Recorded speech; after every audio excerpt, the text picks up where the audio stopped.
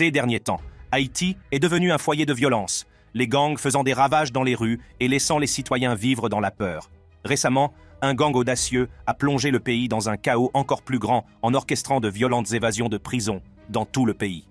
Dans un pays où les gangs sont 60 fois plus nombreux que les militaires, on sait très peu de choses sur ces gangs jusqu'à présent. Voici quelques-uns des gangs les plus dangereux d'Haïti. G9 famille et alliés G9. L'histoire de la famille G9 et de ses alliés est intimement liée au paysage politique d'Haïti, marqué par la corruption, la violence et l'utilisation des gangs comme outil de répression. Tout a commencé par une relation entre Jimmy Cherizier, également connu sous le nom de Barbecue, et le président de l'époque, Jovenel Moïse. Barbecue, ancien officier de police connu pour ses massacres extrajudiciaires, s'est retrouvé renvoyé des forces de police. Cependant, ses liens avec Moïse ne se sont pas arrêtés là. Au contraire, Barbecue et son gang de Delmas 6 auraient continué à recevoir le soutien de l'administration Moïse. Ce soutien comprenait de l'argent, des armes, des uniformes de police et même des véhicules gouvernementaux. À l'époque, Haïti était en proie à une grave crise économique, à une corruption endémique, à des pénuries d'essence et à une montée de la violence. Des manifestations de masse exigeant la démission de Moïse ont balayé la nation, alors qu'il devenait largement impopulaire. Dans cet environnement tumultueux, la formation de l'alliance G9 par Barbecue semblait viser à soutenir Moïse et à maintenir l'ordre social dans les quartiers pauvres. Barbecue avait promis que la coalition du G9 rétablirait la paix à Port-au-Prince, mais la réalité fut bien différente. Les enlèvements se sont multipliés et les affrontements internes à la fédération du G9 ont provoqué de nouvelles flambées de violence. L'Alliance, qui apparaissait initialement comme un moyen de soutenir Moïse, commence à prendre ses distances avec le président. En juin 2021, Barbecue tourne une vidéo appelant à une révolution contre les élites politiques et économiques, y compris le parti de Moïse, le parti haïtien Tetkal, PHTK. Puis, en juillet 2021, un événement choquant a secoué Haïti et le monde une escouade de tueurs à gages ayant reçu une formation militaire a assassiné le président Moïse dans sa résidence privée. Le G9 avait déjà pris ses distances avec Moïse, et cet assassinat a mis en lumière la complexité des dynamiques en jeu. Ce fut un moment décisif pour le G9 et pour Haïti dans son ensemble, alors que le pays plongeait dans une instabilité encore plus profonde. La perte de leur principal sponsor politique ne semble pas avoir eu d'impact significatif sur le G9. Au contraire, Barbecue et les gangs affiliés au G9 ont saisi l'opportunité offerte par l'instabilité généralisée qui a suivi la mort de Moïse. Ils ont étendu leur territoire et affirmé leur contrôle sur des infrastructures clés, notamment le plus grand terminal pétrolier d'Haïti, le terminal Vareux. Cependant, la domination du G9 n'est pas restée incontestée. Leur principal rival, GPEP, e une fédération de gangs formée par Gabriel Jean-Pierre, alias T. Gabriel, a émergé pour combattre l'influence du G9 les deux alliances se sont affrontées sur de multiples fronts autour de Port-au-Prince, contribuant à ce qui est devenu l'une des crises humanitaires les plus urgentes au monde. La mort d'Iska Andris, également connue sous le nom d'Iska, en novembre 2023, a représenté une perte majeure pour le G9. Iska avait une influence considérable au sein de l'Alliance, pouvant même rivaliser avec l'influence de Barbecue. Son absence a créé un vide qui pourrait potentiellement modifier l'équilibre des forces au sein du G9. À la tête de la famille G9, et de ses alliés se trouve Jimmy Cherizier, plus connu sous le nom de Barbecue. Ancien policier devenu chef de gang, Barbecue est devenu une figure centrale du paysage criminel haïtien. Le gang de Delmas 6, qu'il dirige, est l'une des factions les plus puissantes de la fédération G9. La montée en puissance de Barbecue a commencé lors de son passage dans la police, où il s'est fait une réputation notoire pour son implication dans des massacres extrajudiciaires. Cependant, son renvoi des forces de police n'a pas marqué la fin de son influence. Au contraire, il a continué à recevoir le soutien de l'administration du président de l'époque, Jovenel Moïse. Ce soutien comprenait des ressources financières, des armes, des uniformes de police et même des véhicules gouvernementaux. Le gang de Delmas 6, sous la direction de Barbecue, a joué un rôle crucial dans la formation et l'expansion de l'alliance du G9. Leur participation à la coalition leur a permis d'étendre leur territoire et d'accroître leur influence. Le charisme et l'esprit stratégique de Barbecue ont permis de rallier d'autres gangs à l'alliance du G9. Parmi les autres dirigeants importants de la fédération du G9 figure James Alexander, également connu sous le nom de Sanson, du gang Baz Crash Diff. Le gang de Sanson est réputé pour sa participation à des affrontements violents et à des activités criminelles. Ézéchiel Alexandre, alias The, du gang Baz Pilate, était un autre chef important du G9. Cependant, The est actuellement incarcéré, ce qui a eu un impact sur la dynamique au sein de la fédération. Christ Roy Sherry, également connu sous le nom de Chris La, dirige le gang Nanti Bedwewa, tandis qu'Albert Stevenson, alias Juma, était le chef du gang Simon Pelé avant son incarcération. Mikanor Altes, connu sous le nom de King Mikano, dirige le gang Waf Jérémy et Mathias Saint-Il est une figure importante du gang Nan Boston. Serge Alectis, également connu sous le nom de T Junior, était un chef du gang Baz Nan Chabon au sein du G9. Cependant, le destin de T Junior a pris une tournure tragique en 2022 lorsqu'il est décédé. Iska Andris, alias Iska, était un autre chef influent du G9. Sa mort en novembre 2023 représente une perte importante pour la fédération, car Iska avait une influence considérable, pouvant même rivaliser avec le pouvoir de barbecue. La structure de commandement du G9 est complexe, chaque chef commandant son gang respectif et contribuant aux opérations globales de la fédération. Cependant, il est important de noter que le G9 n'est pas une entité monolithique. Il est composé de différents gangs ayant des objectifs et des histoires différents. Ces différences refont parfois surface et entraînent des luttes intestines au sein de la fédération le leadership au sein de la famille G9 et de ses alliés joue un rôle crucial dans l'élaboration de la stratégie de la fédération. La famille G9 et ses alliés ont établi une forte présence au cœur de la capitale haïtienne, Port-au-Prince. Les différents gangs membres de la fédération contrôlent divers quartiers, chacun contribuant à l'influence globale et à la portée territoriale du G9. L'une des principales places fortes du G9 est le quartier de Delmas, plus précisément Delmas 6, qui sert de base à Barbecue, et à son gang de Delmas 6. Delmas 6 est depuis longtemps associé au G9 et a joué un rôle central dans la formation et l'expansion de la fédération. Du quartier et ses infrastructures en font une plaque tournante importante pour les opérations du G9. Cité Soleil, un autre quartier de Port-au-Prince, est également une zone de contrôle importante pour le G9. Au sein de Cité Soleil, le quartier de Waf Jérémy est devenu une base importante pour le groupe C dernières années. Selon un rapport de Réseau Nord-Ouest datant de 2020, Waf Jérémy a été témoin d'une présence croissante du G9, renforçant ainsi son influence dans la zone. Bélécou, un autre quartier de Cité Soleil, a également été une zone clé pour le G9, servant de base à Iska Andris, alias Iska, avant sa mort prématurée. La portée territoriale du G9 s'étend au-delà de Delmas et de Cité Soleil. Ils ont traditionnellement des bastions dans d'autres quartiers de Port-au-Prince. Le gang Nanti Bebebubea, dirigé par Chris Troy Cherry, opère dans le quartier de Nanti Bebebubea, contribuant à la présence du G9 dans le centre de Port-au-Prince. Le gang Nan Boston, dirigé par Mathias Saint-Il, joue également un rôle dans les opérations du G9 dans le quartier de Nan Boston. Bien que le contrôle territorial du G9 soit soumis à la nature changeante du conflit des gangs en Haïti, leur présence dans ces quartiers clés leur a permis d'exercer une influence et d'étendre leurs opérations. Ces quartiers servent de base et de bastion à partir desquels le G9 mène ses activités criminelles, notamment l'extorsion, l'enlèvement et le contrôle des services publics. Il est important de noter que le contrôle territorial du G9 n'est pas absolu et qu'il doit faire face à des défis de la part de gangs et d'alliances rivaux. L'un de leurs principaux rivaux est le GPEP, e une fédération de gangs formée pour combattre l'influence du G9. Les affrontements entre le G9 et le GPEP e ont souvent lieu dans des territoires contestés, ceux qui contribuent à la violence et à l'instabilité qui règnent à Port-au-Prince. GPEP, e originaire du quartier de Cité-Soleil à Port-au-Prince, le GPEP est devenu une force redoutable, s'engageant dans des conflits meurtriers avec des gangs rivaux, en particulier le G9. La violence déclenchée par ces gangs a plongé Haïti dans une spirale de violence catastrophique, les gangs contrôlant désormais près de 90% de la capitale. GPEP, une coalition de gangs vaguement liés aux partis d'opposition, est apparue comme une force opposée aux gangs G9 dans la banlieue de Cité-Soleil. Dirigé par Jean-Pierre Gabriel, également connu sous le nom de T. Gabriel, le GPEP a été formé comme une fédération de groupes armés criminels. Leur objectif premier était de contester la domination du G9 et d'instaurer leur propre règne de la terreur. Alors que certains pensent que le GPEP est associé à l'opposition, d'autres prétendent que le groupe est financé par un homme d'affaires haïtien bien connu et qu'il est aligné sur lui. Ces liens ont sans aucun doute joué un rôle important dans leur montée en puissance. Depuis sa formation en 2020, GPEP s'est engagé dans une bataille féroce avec les gangs affiliés au G9 à Cité Soleil, en particulier dans le quartier de Brooklyn. Ce conflit s'est intensifié en 2022 lorsque le G9 a tenté de déloger le GPEP de son bastion de Brooklyn. L'affrontement qui s'en est suivi a coûté la vie à 50 personnes, mettant en évidence l'extrême violence et la brutalité de ces gangs. Alors que le GPEP continue d'étendre son influence, il a intégré d'autres gangs dans sa coalition. L'un de ces gangs est le tristement célèbre Katsent Mawozo, qui aurait joint ses forces à celles du GPEP après l'extradition de son chef vers les États-Unis. Ces alliances stratégiques sont considérées comme une étape vers l'expansion du GPEP de la capitale vers d'autres régions d'Haïti. Le règne de la terreur instauré par le GPEP, l'un des gangs les plus dangereux d'Haïti, a eu des conséquences dévastatrices pour le pays et sa population. Cette section se penche sur l'impact de leurs actions sur la population civile et sur les implications plus larges pour Haïti.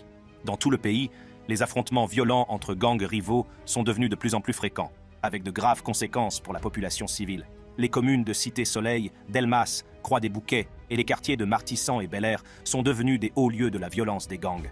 Ces conflits ont non seulement fait de nombreux morts et blessés, mais ont également provoqué des déplacements massifs, laissant d'innombrables familles sans abri et vulnérables. Tragiquement, ces violents affrontements entre gangs servent souvent de couverture à l'assassinat intentionnel de civils. Le massacre de Bel Air du 1er avril 2021, par exemple, a d'abord été imputé à une confrontation entre gangs, mais a également été qualifié de politique. De tels incidents mettent en évidence la nature impitoyable de ces gangs et le mépris qu'ils ont pour les vies innocentes. Les conséquences de la violence vont au-delà des pertes en vies humaines et des dommages physiques. Des communautés entières, comme le quartier de Tabar, ont été coupées du monde extérieur en raison de l'intensité de la violence. Cet isolement a conduit à des conditions désastreuses, sans accès à la nourriture, à l'eau ou à l'assainissement. Des épidémies de choléra et des situations de famine ont été enregistrées, poussant la population touchée au bord de la survie. Le chaos et l'insécurité provoqués par le GPEP et d'autres gangs ont entraîné des niveaux records de migration, des centaines de milliers d'Haïtiens quittant le pays à la recherche de sécurité et de stabilité. L'impact de cet exode massif sur le tissu social et l'économie d'Haïti ne peut être surestimé. Les conséquences dévastatrices des actions de GPEP ont laissé Haïti dans un état de désespoir. Les hôpitaux et les écoles ont fermé leurs portes. Les principales agences de secours se sont retirées et la désintégration de l'État est évidente. La marche actuelle vers l'anarchie ne montre aucun signe de ralentissement, laissant la population civile supporter le poids de la violence et de l'instabilité. La spirale de violence catastrophique déclenchée par le GPEP et d'autres gangs dangereux en Haïti a suscité des appels urgents à l'intervention pour briser leur emprise sur la nation. Cette section examine les appels à l'aide du gouvernement intérimaire et de la communauté internationale, ainsi que l'avenir incertain qui attend Haïti le Premier ministre intérimaire Ariel Henry a demandé à plusieurs reprises qu'une force multinationale intervienne et rétablisse l'ordre dans le pays. Cependant, à ce jour, aucun déploiement de ce type n'a eu lieu, laissant la population dans un état de désespoir total. L'absence d'une forte présence sécuritaire a alimenté une vague d'autodéfense, les membres présumés de gangs étant pourchassés et brutalement tués par des foules armées de machettes. Les gangs ont riposté en s'en prenant à des civils innocents, ce qui a encore exacerbé la violence et l'insécurité. En l'absence d'élus et dans un contexte d'insécurité trop important pour organiser des élections, la démocratie haïtienne est paralysée. Le seul consensus au sein de la population est que la marche actuelle vers l'anarchie se poursuivra et que les civils en paieront le prix fort. La situation est telle que les gens décrivent leur vie comme 24 heures renouvelables, vivant dans la peur constante des balles perdues et de la violence. La réponse de la communauté internationale à la crise en Haïti a été limitée les principales organisations humanitaires se retirant et aucune force multinationale n'étant déployée. L'absence d'intervention a laissé le pays dans un état de désespoir, avec des hôpitaux et des écoles fermées et une population livrée à elle-même. Les conséquences de cette inaction sont désastreuses, car le tissu social et l'économie déjà fragile d'Haïti continuent de s'effondrer. L'avenir d'Haïti reste incertain. La violence et l'anarchie perpétrées par des gangs comme le GPEP ont poussé le pays au bord du gouffre, sans qu'aucune solution claire ne soit en vue la communauté internationale doit reconnaître l'urgence de la situation et apporter le soutien nécessaire pour s'attaquer aux causes profondes de cette crise. Sans intervention, le chemin vers la stabilité et le redressement d'Haïti restera insaisissable. 400 Mawozo le gang des 400 Mawozo, également connu sous le nom des 400 hommes boiteux, s'est fait connaître comme l'une des organisations criminelles les plus dangereuses d'Haïti. Sous la direction de Joseph Wilson, alias Lanmo Sanjo, ce gang a consolidé son pouvoir à Croix-des-Bouquets, un quartier important et un haut lieu de la criminalité au nord de Port-au-Prince, ainsi que dans d'autres régions d'Haïti. Leur approche innovante de la criminalité et leur vaste réseau en ont fait une préoccupation majeure pour les experts et les autorités. L'histoire du gang des 400 Mawozo est entourée de mystères et d'intrigues. Si l'on sait peu de choses sur cette organisation criminelle avant 2019, lorsque des rapports sur des affrontements entre gangs impliquant le gang des 400 Mawozo ont commencé à émerger en Haïti, on pense que le groupe a en fait été formé en 2016. Depuis lors, le gang a connu une expansion significative et est devenu une préoccupation majeure pour les experts et les autorités du pays. Selon un analyste de la sécurité, le gang 400 Mawozo n'a cessé de gagner en taille et en influence depuis 2018. Si les raisons exactes de cette expansion rapide restent floues, on pense que les tactiques innovantes du gang et sa capacité à s'adapter à des circonstances changeantes ont joué un rôle crucial dans sa montée en puissance. Les experts en matière de gang citent régulièrement le gang des 400 Mawozo comme l'une des organisations criminelles les plus inquiétantes d'Haïti. Ce qui les distingue des autres gangs du pays, c'est leur approche unique de la criminalité. Bien qu'ils possèdent de nombreuses caractéristiques communes aux groupes criminels en Haïti, tels que l'accès à des armes de grande puissance, l'implication dans des économies criminelles et des relations politiques, le gang des 400 Mawozo se distingue par ses méthodes novatrices. L'une des tactiques les plus remarquables employées par le gang 400 Mawozo est ce que l'on appelle le kidnapping express. Cette méthode consiste à envoyer de petits groupes d'hommes armés sur des motos pour cibler des personnes se trouvant sur les routes principales ou utilisant les transports publics. Les victimes sont rapidement enlevées et gardées en captivité pendant quelques jours jusqu'au versement d'une rançon relativement modeste. Ce modèle d'enlèvement est basé sur l'échelle plutôt que sur la demande de sommes exorbitantes ce qui permet aux gangs d'effectuer un grand nombre d'enlèvements et de s'assurer un flux régulier de revenus. L'utilisation par le gang des 400 Mawozo de l'enlèvement express à grande échelle dans le pays témoigne de leur capacité à s'adapter et à innover. Cette tactique leur a permis d'instaurer un règne de terreur et d'instiller la peur au sein de la population haïtienne. Leurs actions n'ont pas seulement affecté les individus, mais ont également eu un impact significatif sur la situation générale de la sécurité dans le pays. Bien que la structure exacte de la direction du gang 400 Mawozo ne soit pas entièrement connue, Joseph Wilson, alias Lanmo Sanju, est largement reconnu comme le chef du gang. Lanmo Sanju, qui se traduit par La mort n'a pas d'heure fixe, est un homme recherché, accusé de meurtre, de tentative de meurtre, d'enlèvement et de vol de véhicules. Son leadership et son influence sur le gang ont joué un rôle déterminant dans sa montée en puissance. Le commandant en second du gang des 400 Mawozo est Jermin Jolie, alias Yonion. Jolie a été condamné à la prison à vie en 2018 après avoir été accusé d'une série de crimes, notamment d'enlèvement, de viol, de vol à main armée, de meurtre, de détention illégale d'une arme à feu et d'association de malfaiteurs au détriment de 20 personnes.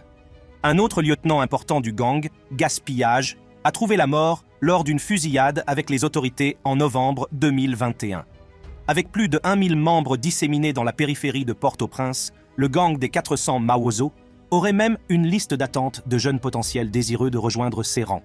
Cela démontre la capacité du gang à attirer de nouveaux membres et à étendre son influence. Le recrutement de jeunes individus dans le gang assure non seulement leur croissance continue, mais perpétue également le cycle de la violence et de la criminalité en Haïti. Les activités criminelles du gang des 400 Mawozo sont à la fois étendues et alarmantes. Si leur notoriété provient de leur implication dans des enlèvements collectifs, leur répertoire criminel s'étend bien au-delà le gang est responsable d'un large éventail d'activités illégales qui ont fait des ravages au sein de la population haïtienne. L'un des incidents les plus médiatisés impliquant le gang des 400 Mawozo a été l'enlèvement de 17 citoyens américains et canadiens, dont 5 enfants, en octobre 2021. Dans un premier temps, il est apparu que les victimes avaient réussi à échapper à leurs ravisseurs, mais de nouvelles informations suggèrent qu'elles ont en fait été libérées après qu'un mystérieux donateur a versé la somme astronomique d'un million de dollars par personne en guise de rançon. Cet incident a non seulement mis en lumière l'audace du gang, mais aussi sa capacité à opérer à l'échelle internationale. Des groupes religieux ont également été victimes du gang des 400 Mawozo. En avril de l'année dernière, Sept membres du clergé, dont deux citoyens français, ont été enlevés et le gang a exigé une rançon d'un million de dollars pour leur libération. Heureusement, ils ont tous été libérés une semaine plus tard, mais les détails concernant le paiement de la rançon restent inconnus. Ces incidents démontrent la volonté du gang de s'en prendre à n'importe qui, indépendamment de ses antécédents ou de sa nationalité. Cependant, les groupes religieux ne sont pas les seules victimes du gang des 400 Mawozo.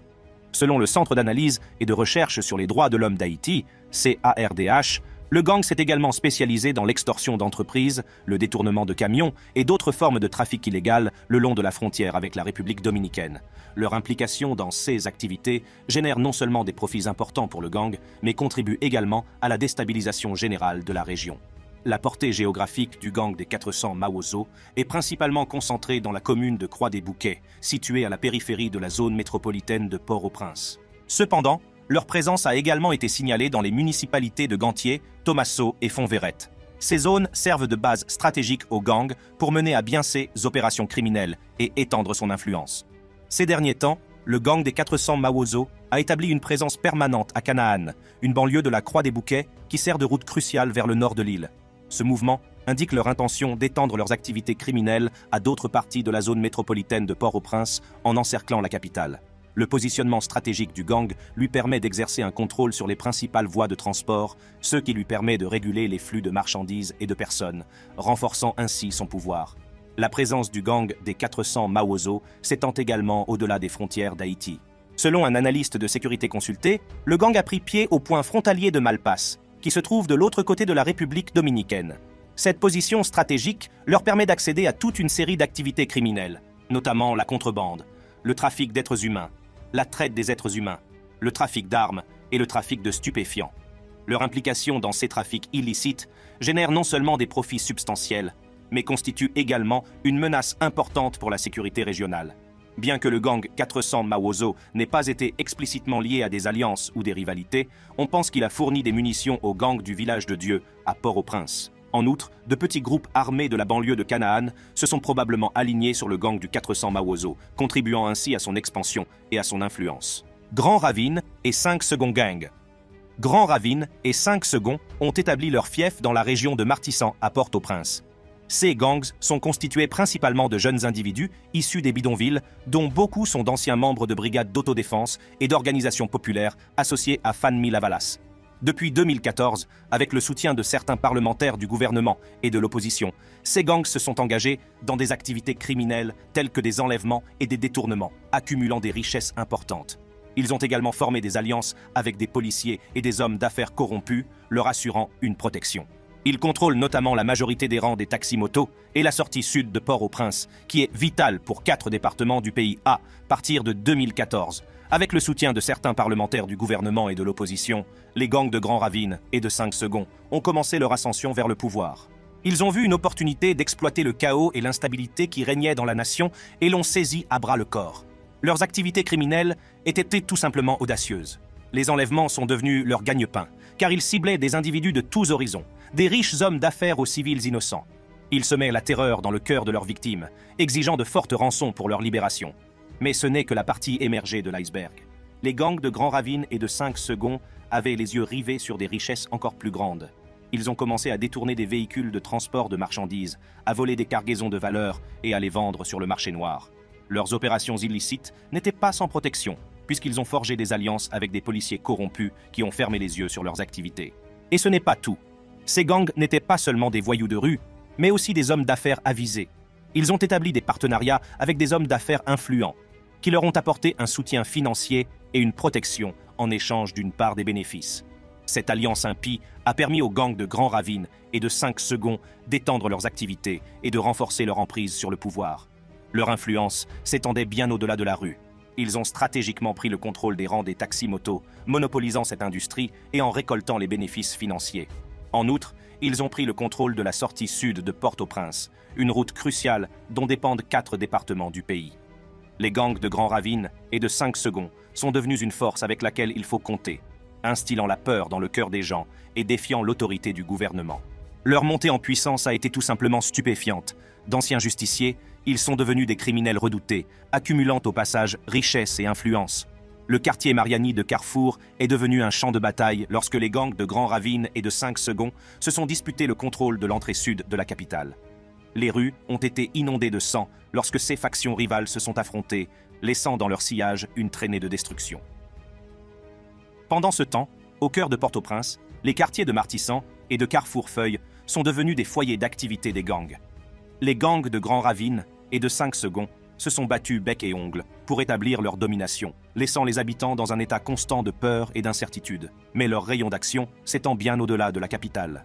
Dans les communes orientales de Pétionville et de Kenskoff, le gang Kras Barrier, allié des gangs Grand Ravine et 5 Seconds, a étendu son influence. Ces gangs ont cherché à contrôler des actifs économiques clés, tels que le port de la Fito, les zones industrielles et la route 1, qui relie la capitale au nord du pays.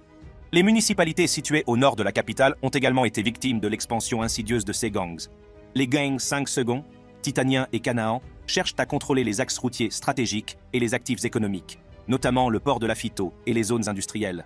Leur soif de pouvoir n'a pas de limite, ils cherchent à dominer la région et à exploiter ses ressources. Le département de l'Artibonite a connu une augmentation stupéfiante de 70% des décès liés aux gangs en 2023 par rapport à l'année précédente.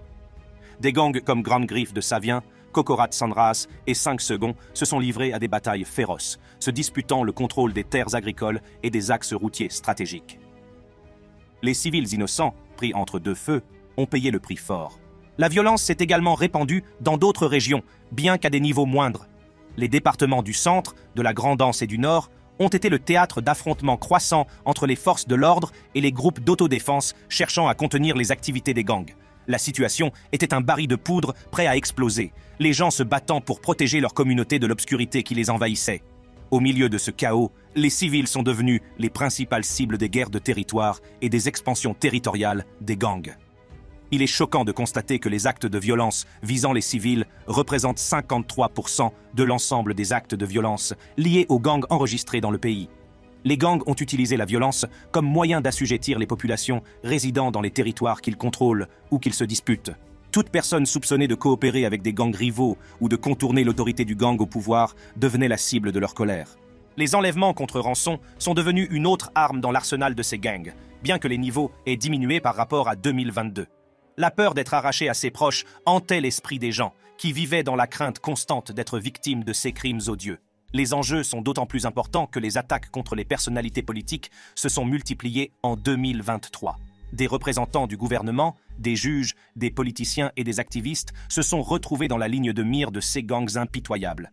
Le message était clair, personne n'était à l'abri. La volonté croissante des gangs de cibler directement les fonctionnaires pour les extorquer ou de réduire au silence ceux qui osent dénoncer leurs activités a fait l'effet d'une onde de choc dans tout le pays. Dans le contexte d'une violence plus meurtrière ciblant les civils et d'une perception générale de l'incapacité du gouvernement à lutter contre les gangs, une recrudescence de la violence des groupes d'autodéfense a ajouté une nouvelle couche au paysage sécuritaire d'Haïti. Les décès signalés à la suite d'actes d'autodéfense représentaient 15% de la violence politique en 2023. Les gens, frustrés et désespérés par la justice, ont pris les choses en main cherchant à se venger des gangs qui avaient terrorisé leur communauté. La multiplication de ces événements dans tout le pays n'a fait qu'alimenter le cycle de la violence, les gangs ripostant avec une force encore plus grande.